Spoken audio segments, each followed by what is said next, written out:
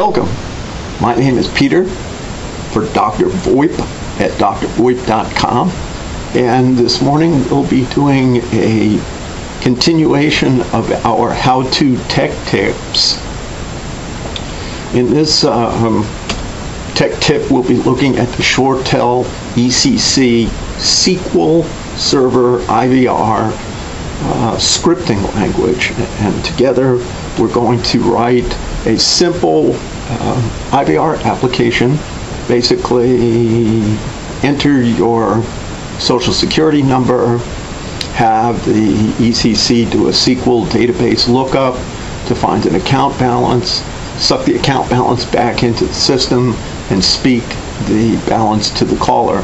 Pretty typical uh, application for an IVR solution. And we're going to take a look this morning and see how that's done on a ShoreTel system.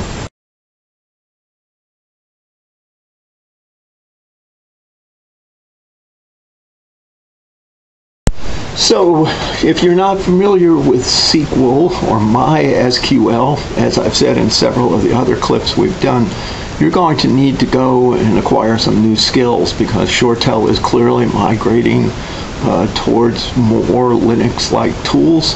Um, MySQL currently is the configuration database and a call detail record database for the ShoreTel PBX.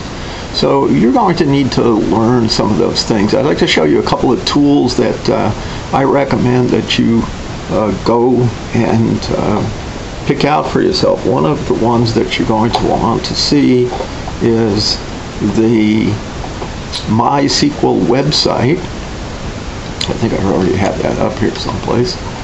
So you're going to want to go to mysql.com, uh, um, which is uh, currently owned by Sun Microsystems. I don't know how a company owns an open source uh, community body of work, but uh, there's a relationship now between Sun Microsystems and MySQL.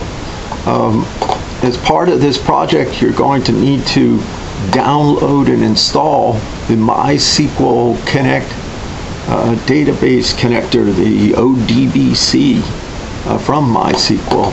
Uh, um, you will need that to get your ECC to speak to your MySQL database. I would also recommend that you go and take a look at, at um, ApacheFriends.org. Uh, at ApacheFriends.org, you can find a distribution of something called XAMPP, XAMPP, and it will run on Windows, it will run on Mac OS, and it'll run on Linux. And for those of you who want the opportunity to play with a MySQL database um, and play with some of the tools for creating databases, um, you're going to need an Apache server and some other Linux-based uh, tools, if you go to this site and download XAMPP, it's a distribution that will install everything you need to uh, know to begin using and practicing MySQL. In fact, uh, I've, I've located another site called killerphp.com. Uh, this guy's done a great job in, in bringing together some uh, um, video tutorials on how to install WAMP on your computer and how to uh, use MySQL YOG and mm, PHP uh, MIM, which is an administration tool. Uh, it's a great site. I highly recommend um, that you take a look at killerphp.com and get yourself some uh, educational materials that will stand you well as you work with MySQL in the ShoreTel world. There is a tool uh, particularly important to our effort here called MyPHP uh, admin, which I also recommend that you download. If you install the Apache Friends XAMPP product, it will in fact uh, download that. I have that running here on my local machine, and as you'll see, uh, we bring up a complete uh, Apache web server and under um, components you'll see all of the all of the tools that are installed for XAMPP for Windows. So it's a great environment to to learn how to do Apache, MySQL, PHP, Perl, FileZilla, FTP services, PHP MyAdmin. These are all great essential tools for doing any kind of work with SQL Server. So to get started with the ECC and the SQL scripting uh, that will be necessary to support this simple application we're going to create together, you're going to need to obtain and install the correct OBDC connector. As I pointed out, you can download that from mysql.com. Um, you will need to define a call profile in the ECC define the system interface in the ECC. Uh, we're going to be working with some scripts. Uh, we'll use the graphical scripting tool to accomplish this. You have to prepare your various announcements and create your WAV files and, and get ready to, to, to uh, test and turn up this application. So what I'm going to do here is log into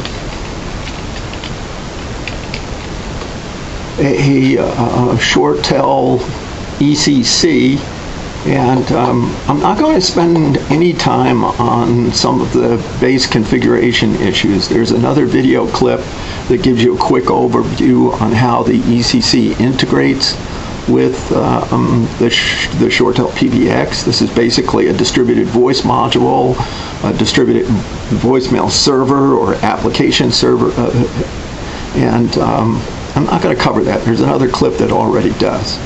What we want to do, however, is configure the OBDC connector. That's uh, going to be step one.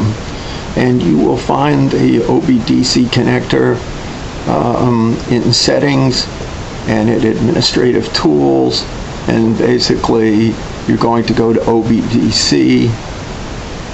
And at this point here, you will notice uh, um, these tabs and what I have already done was to download uh, and install the correct MySQL OBDC connector. So initially you've, uh, you have some defaults. It comes with the DBF and XLS and uh, Access MDB connectors, but what you'll need to do is download MySQL database connector and you're going to install it in the section that says system DSN. So uh, an OBDC system data source stores information about how to connect to the indicated data provider. A system data source is visible to all users on this machine, including NT services, whereas if you install it as a user DSN, it would only be available to um, the current user. So you install your OBDC MySQL connector under the system DSN. And as you can see, I've uh, already installed um, connector. I've named it uh, ECC SQL test. And uh, I'll just show you the configura configuration. It's very straightforward. You bring up this little tab for the MySQL OBD connector, and you will notice that uh, give it a name, uh, give it a description. Um, I tend to put in an IP address rather than a name that would require DSN resolution. You must have a username and password and at that point the connector will go look for this database and it will bring you a drop down list of the available uh, databases on that system. So at that point you're going to push test and you'll see that the success connection was made. Uh, if you have a problem, you can always hit the diagnostics, and generally down here it's going to tell you what the connection problem was. But in this case, we have successfully connected to a database named Bank that's running on a SQL server at um, MySQL server, um, and we've connected as a user named Peter.